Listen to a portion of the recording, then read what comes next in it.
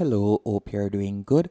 In this video, I will be showing you how to add cookie consent on Shopify.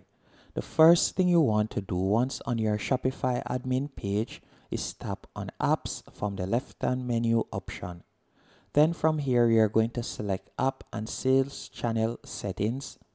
After doing that, you'll be redirected to a new page and you're going to tap on Shopify App Store from the top right hand corner. Once on the Shopify App Store, you're going to tap on the search bar and I want you to type in cookie consent. Then we're going to be using the Avada GDPR cookie consent. As you can see, it is completely free and it has a 5 star ratings. You're going to tap on install.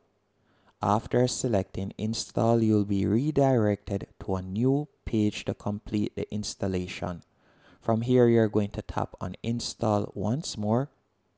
After tapping on install once more, you'll be redirected to the app dashboard. Once on the app dashboard, I'll be showing you how to set it up and also they will provide you with numerous template options that you can use. So you can see it is loading up right here.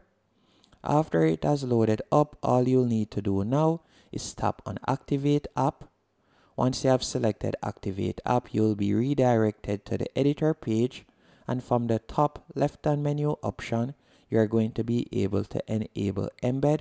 So you can see that it has been enabled right there and you will simply tap on save. After you have tapped on save, you're going to go back into the Avada cookie. So you can see right there. And then from there, you can tap on banner settings after you have selected banner settings, you can now turn on the banner status if you want. So you can see right here, enable cookie banner, cookie bar for all countries or specific regions. If you would like to enable it for only specific regions or EU and UK countries GDPR, you can tap right there.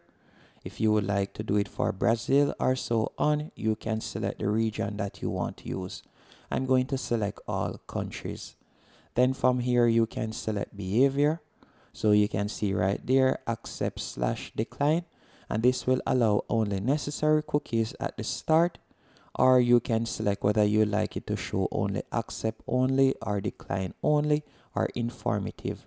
So you have different options and you can also see an example of how it will look in the bottom right hand corner right here. And by scrolling down, you can also see the privacy policy link. So you can leave that as is. And by scrolling up, we can tap on content. After you have tapped on content, if you would like to edit the message, you can do that. But I'll leave it as is at the moment. But if you would like to edit it, you can. You can also tap on style. And if you would like to change the style from basic to, for example, dark mode or so on, you can do that. You can customize it based on the theme that you're using and the color so you can optimize it so it looks better on your website. You can also move the positioning. So let's say you like it to be a full bar you could select full bar instead of float bar. You can also select where you like it to be displayed on desktop top left top right or so on. You can also select the mobile positioning once everything is to your liking, you'll tap on save.